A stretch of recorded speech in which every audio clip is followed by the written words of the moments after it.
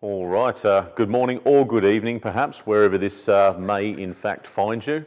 Uh, Chris Purnell here for Hobie Fishing and welcome to the walkthrough of the Series 14 Hobie Kayak Fishing Championships Edition Compass that will be used this year at Mallacoota, uh, which is barely some three weeks in fact away from that event. So what we'd like to do is take an opportunity now to give each and every angler that's going to be competing with us over the course of that event effectively a bow to stern walkthrough.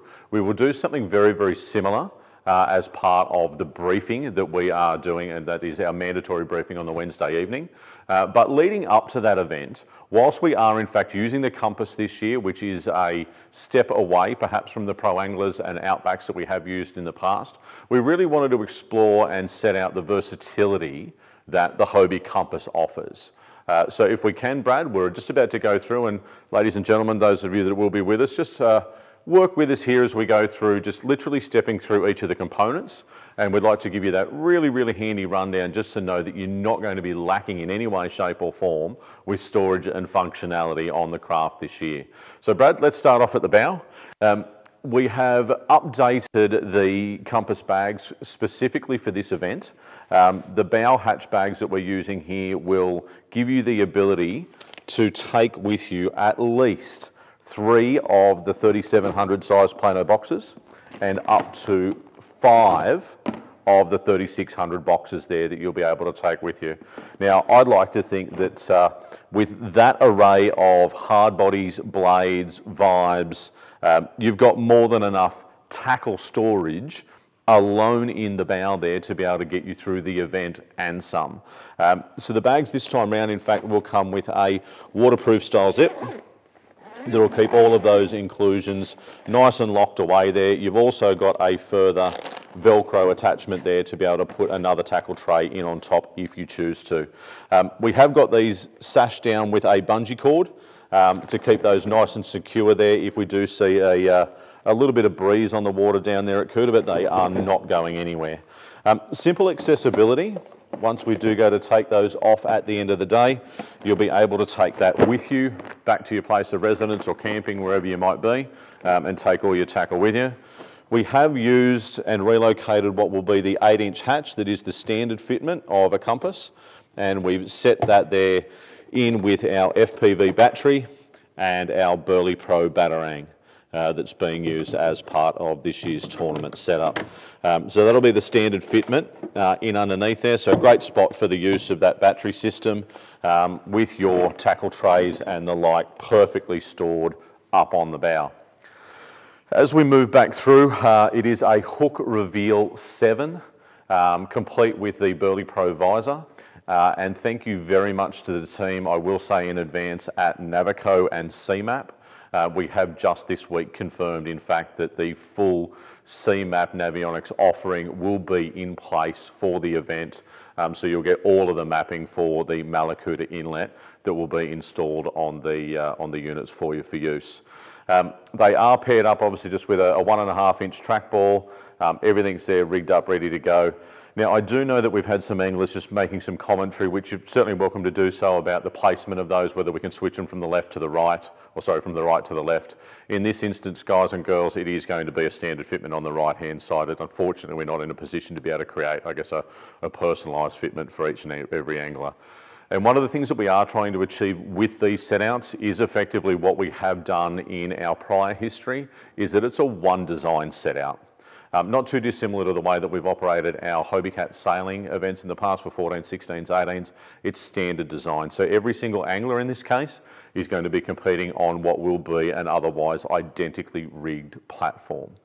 Um, coming back through, as I saying, that we have installed the rectangular hatch in lieu of the 8-inch hatch. Um, again, you're all familiar with the uh, with the 8 inch hatches or sorry the rectangular hatches that are available. Um, this year we have also part, partnered up and I will say a very big thank you to Marty Gittins and obviously the team at Berley Pro. Um, the Berley Pro gear bucket is in there complete as part of that rectangular gear bucket setup. So hard bodies up the front, your soft plastics, your leader, your tooling and the like is all readily accessible in that rectangular hatch setup um, that is in place. Um, standard MD180 turbo drive, um, as you would all be quite well aware of, um, is in place here. I'll take a few moments just to go through what is going to be termed to be some of the options that you as anglers are permitted to bring as part of your inclusions with the set out on this particular event kayak. Um, in particular, speaking of rod holders uh, and rod storage. So you have the two track mounted rod holders on either side. Obviously we're utilising one of those with the hook reveal. Uh, on the left hand side there, the suggestions at this point in time that you may choose to work with um, are going to be either a ram ball track mount, you have a perhaps a Railblaza mini port that you might find useful depending on your uh, chosen style of rod holder. And then this in fact is a universal adapter track mount. So that will take from what we do believe the majority, if not all, um, of the various types of fitments, uh, whether it be Railblaza, Scotty or other brands um, that people might be, uh, be using. Each of those three are all available through Hobie outlets. So whether it's the guys in Queensland at Sunstate, uh, James up at Hunter Water Sports, uh, the team here at Totally Immersed, you've got Complete Angler and Camping World, Gregory Hills, Bass Angler at Penrith, Merimbula, Canberra, and obviously uh, Scott Lubbock Hobie, and of course Action Water Sports down in Victoria. So um, any one of those outlets, you're certainly able to jump in and grab um, any of those components that you might require. The various rod holders that you then might choose to put on those is entirely up to you. So obviously anything from the Ram stable, that universal fit or your Railblaza. So when we are competing there and we're trying to keep this space, I guess, as functioning as we can. So if you do have your fish, you've got your net, you're back here working with your net back over the top of the deck. And if you do have a rod holder here that you can then obviously stow your rod in to make this working area, the most useful uh, space that it can be. Um, we think that perhaps the use of adding in one of those rod holders there will in fact provide some benefit to you. So they're the options that you have available in that space. As we just move back a little bit and keeping on the options that you are uh, in fact able to bring, um, the Hobie rod holder extension uh, can be installed into the standard fitted rod holders that are in place there already.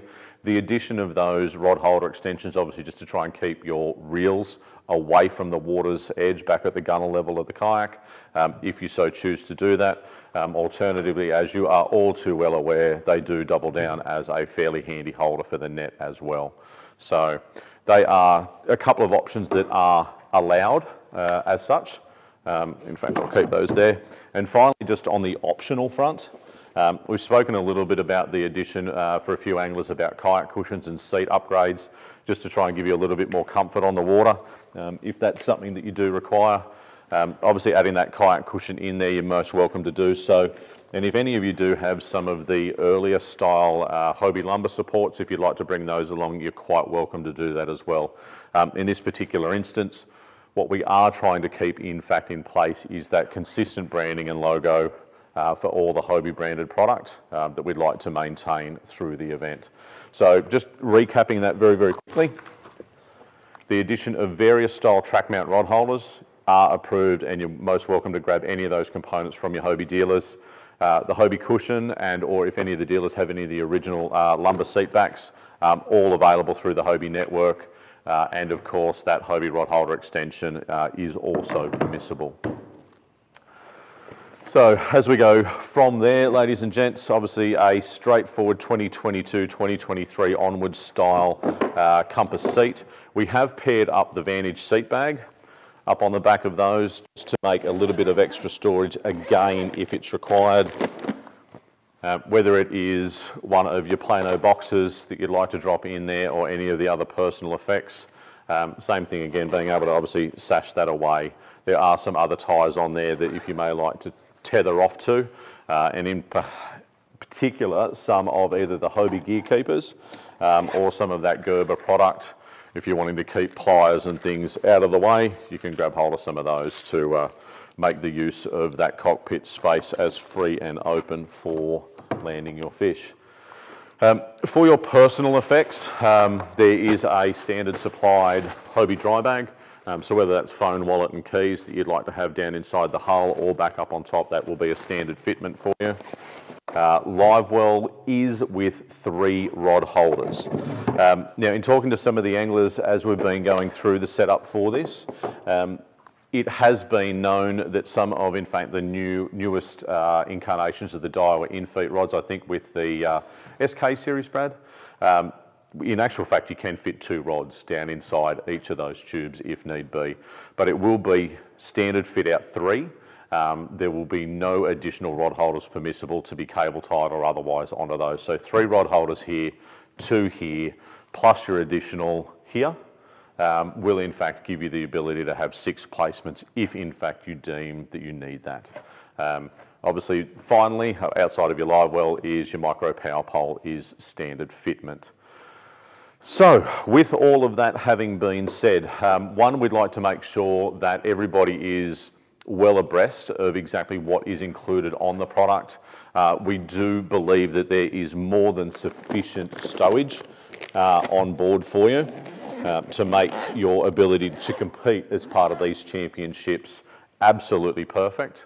Um, if anybody does have any additional questions, queries, concerns, commentary, please tag them through in this particular video and post.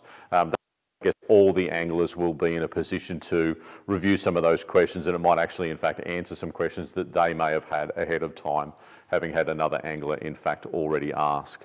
Um, but I would also like to take this opportunity to thank the countless sponsors that are involved as part of this year's event, uh, and in particular with the addition of the team at Berley Pro and FPV, uh, on top of what is our regular uh, Kayak Series sponsorship group, and of course uh, the team at Podium Marine Wraps. Um, Corey, you've been an absolute sensation to work with, mate. Thank you very, very much. Uh, and we look forward to finalising the back end of all of this setup uh, somewhere through the middle of next week so that we can get loading uh, and then get on the road. So we'll be on the road from Sunday the 5th. We'll be doing our setup on the 6th and 7th and 8th prior to each of the anglers arriving there on the Wednesday uh, for that mandatory briefing down at the Mallacoota Golf Club. Uh, and we will be on the water with you all for pre-fish day, the Lowrance pre-fish day in fact, uh, on the Thursday. So there will be a different start line setup this year, which we will be going through with you as part of that mandatory briefing. Um, so just keep in mind that it is a slightly different format to that of a usual Hobie round start. But given the location where we need to be launching from, we will be moving anglers out into a portion uh, that is approximately halfway between the launch and Karbeethong to try and make sure that our start line gives access to both the top lake and the bottom lake as part of the event.